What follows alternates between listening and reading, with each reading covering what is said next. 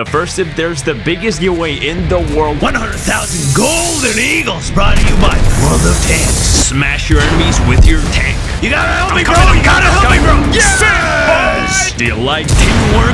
Dude, where are you, dude? I don't know, I'm just chilling. Oh, come on, man. Team help, I'm gonna die, dude. Oh, man, I'm gonna die.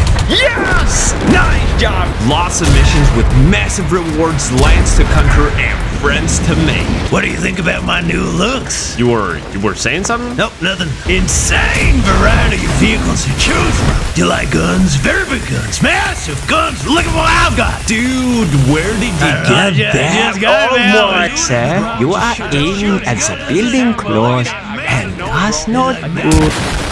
If you're a new player, then click on the link in the video description to sign up for and install World of Tanks for free Use code COMBAT. to get 250,000 silver, 7 days premium, Tiger 131 T78 Type 64 for 10 and bells. premium tank Cromwell B for life. To enter the 100,000 Golden Eagle giveaway, just subscribe and write a comment. That's all you Uh, gotta do. you gotta do it, man. I beg you, man. Also, download World of Tanks for Smash in Thank you to World of Tanks for sponsoring this video. You see this guy running like an influencer, even though he is looking to be penetrated downstairs, it's actually the most effective way to bait your enemies, which also increases your survivability for a lot of tanks. Most shells, especially in low tier, will blow up after the penetration, and instead of that shell blowing up in your crew compartment, it blows up in the engine, dealing absolutely no damage to your crew. And you can fix it later, no problem. That is the reason why you shot at that wheeled vehicle with your Jagdtiger, and he was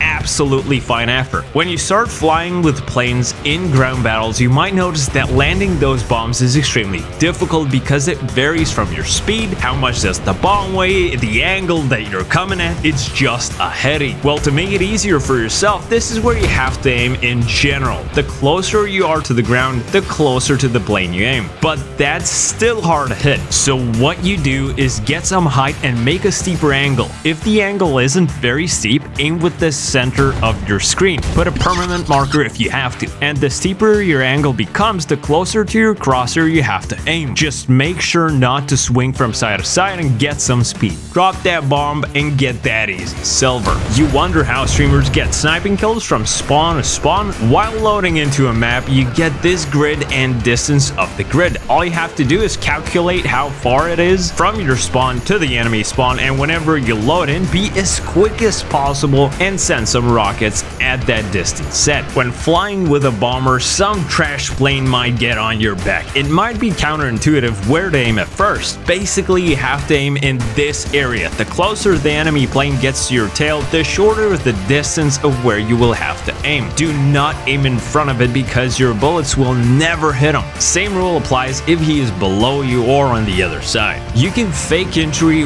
with a friend by fixing your tank turret after your buddy shoots at you. To fix your turret, you must go to controls common and check fixed gun direction in mouse view. Then whenever you look around, your cannon will be locked. It will take a bit of time to get used to, but whenever you get bombed or shot by Artie, you can fake an injury, and this kill-hungry boy will run at you with absolutely no hesitation, bringing you a bag of easy experience. If you dislike the mechanic of fixing your turret, bind driver's view to a key and use it in the same way as locking camera. The issue is that it limits your view, but you don't have to do it for a long period. Just make sure enemy thinks that you are hurt. Everybody knows that whenever you're playing in high tiers, your main shell should be a PFSDS. But what I really recommend is taking a couple of HESH shells, not heat, those are useless lately. You see, HESH shells are pretty slow and have worse ballistics, but it allows you to shoot over cover from safe position at those pesky sniping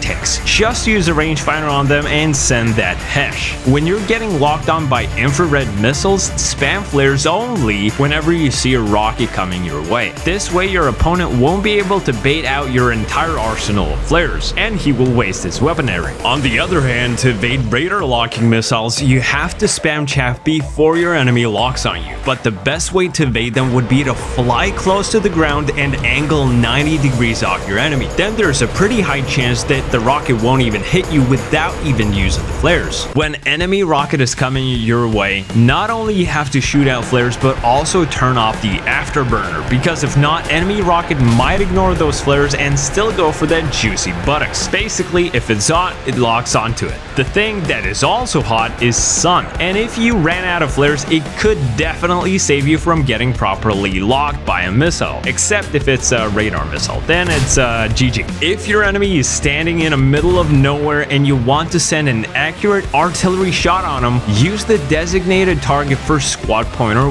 while aiming at your enemy. Then turn on artillery map and send it over. It will boost your RD accuracy like crazy. Commander Thermals. This thing allows you to see a wider view with thermal vision. Not all tanks have it, but it is extremely useful and might save your life. We all know that camo is very effective and sometimes it definitely helps, but it might cost money, or your new tank just might not have it unlocked. What I always used to do is to use sticker decorations as a budget camo. It's absolutely free and it is way better than nothing. Just make sure to expand it as widely as possible and apply it. Do not spend your money on these skins because most players have this thing turned off by default and they will never see your $70 skin anyways. If you want it for yourself, just download it for free. The only thing that everyone will see is decorations and there's no way to turn them off. This is a tier list of shells that are best to use as your main shell. High explosive shells are extremely random so they are not going to be top tier. The best damaging shell and the least random is this one. It deals great damage but you might need to learn a few weak spots to use them effectively. And the top tier shell is definitely APFSDS, by far best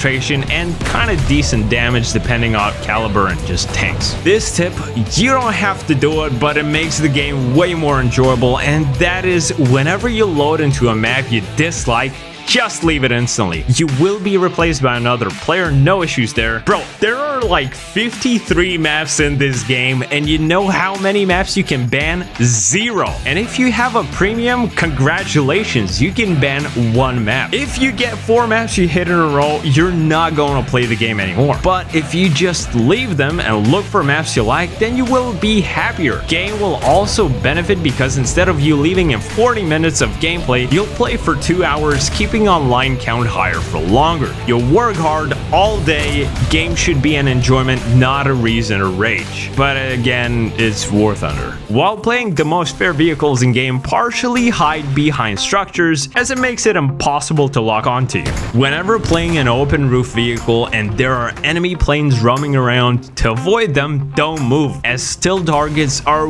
way harder to spot than moving ones. If the game is lagging, turn off grass range to zero as it eats insane amount of resources. You see this bush? Well, it's not there if you're a little bit further, so don't trust smaller bushes, they'll get you killed. This is a game feature that gives massive advantage over other players. It's called tree range. If you want to spot targets as a pilot way easier, then it's a must. If you're playing a tank and you want to spot enemies sometimes even through walls, then it's also a must. Bumping it down to zero gives you insane advantage over others. It's not only trees, it's almost everything. It's a game feature. If you want better results, then use it. It will definitely help you earn more XP and silver, but some people think it's not really fair, so really depends on you. Most anti-air vehicles can't aim directly above themselves, and even when they can, it is the most uncomfortable aiming experience ever. So for pilots trying to destroy those anti-airs, just fly above them and pound down like there's no tomorrow. This is a little bit more toxic one for players that hate CAS pilots. Whenever you see an enemy bomb land right next to you and it's just death, it's done, you can very quickly try to leave your vehicle and self-destruct. This way, the pilot will kind of waste his bomb because he won't get any XP for you, but to counter this toxic leaving, some pilots shoot the target with a machine gun first, so that if they decide to jump out quickly, they would still register as a kill for the pilot. If you spot an enemy helicopter and they're there's a small thing coming at you, throw smoke while driving backwards, and as soon as he's gone out of your view range, drive forward, throwing off his shot completely. Driving backwards is slower than forwards, that's why going forward later is better. The difference between low tier casting and high tier casting is that in low BRs, your fights are usually medium to close distance, basically doing things that will get you killed in seconds if applied in high tiers. So how to cast in high tiers? Well, it's usually either being very far and sniping or extremely close bombing. The higher your skill gets, the closer to medium distance engagements you can get without instantly dying. If you want to learn how to bomb stuff, shoot rockets and so on, do not go to the testing grounds. It is useless as there aren't enough targets over there. Make a custom battle, press create section, choose whichever map you want to train on, make it 6 hours, include bots. You can actually just copy whatever I sit here, smash in random and now you have a perfect training grounds with infinite enemies that are moving kind of in the same positions where players go, most of the time. Well, maybe rarely. With massive cannons, while using high explosive shells, you can take out open roof tanks by shooting near them. You don't even have to hit them directly. So basically, if enemies are holding an angle close to you, shoot the ground close to them, which will overpressure them and send them back to the hangar. You can shoot down enemy rockets with your machine guns and destroy them before they hit you. Having a couple of smoke shells for those cheeky campers is actually a great choice for a fast reloading tank, as it is the best feeling in your life whenever you can just punish campers and there's nothing they can do about it. These are the most important modules to unlock for tanks. Usually the main priority goes to unlocking better shells as it's the main thing that increases your success in getting them kills. Do not trust in armor. If it saved you, it means you were gifted a good RNG. Even the heaviest tanks that seem to bounce everything can get their cannons broken and detract by a relatively weak vehicle. And it's only a matter of time till someone loads in a heat shell and will absolutely ignore that heavy load that you carry. These kind of ATGMs are ineffective against explosive reactive armor, but these tandem shaped ATGMs don't care about it, and they will go straight through that armor, no problem. These little eyes, they help mess up enemy ATGMs coming your way by disrupting their controls, this way increasing your survivability, but it only works against older ATGMs. The thing is,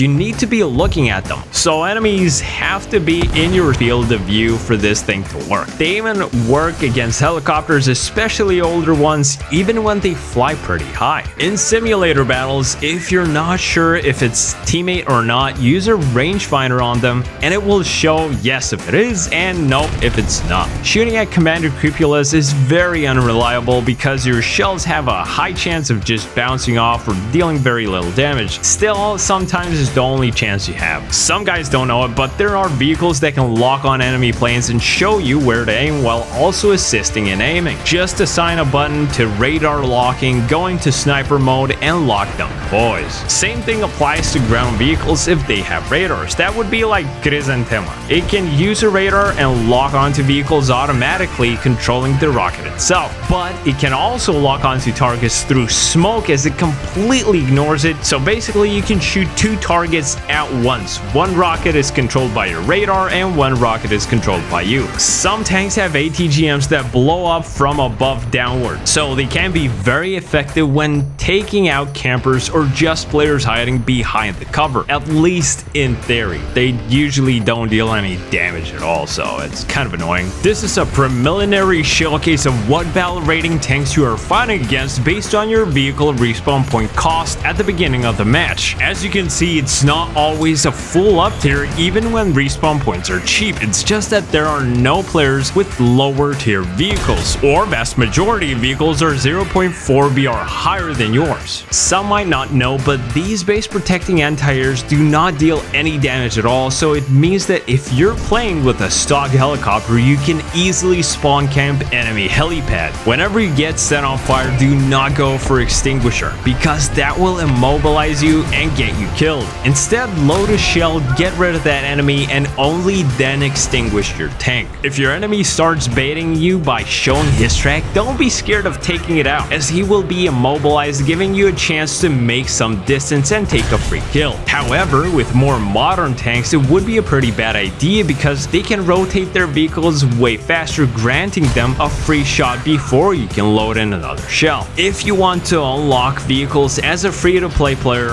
as quickly as possible, then use the previous vehicle before it. This way you will get an additional experience boost for that vehicle research. With light tanks that have drones, you can cheese smoke your enemies. What you have to do is throw smoke nades, get into position, and mark your enemies with a drone designator. Quickly switch back to your tank and just send a shell to that position, granting you a free bag of experience. You can also do it with your squad mates. One keeps throwing smoke and the next one starts marking and telling where the shot went. It is so absurdly strong that it's crazy. But since not a single War Thunder player has a friend, you pretty much never get to see it in action. So find a friend in Discord server and join our clan.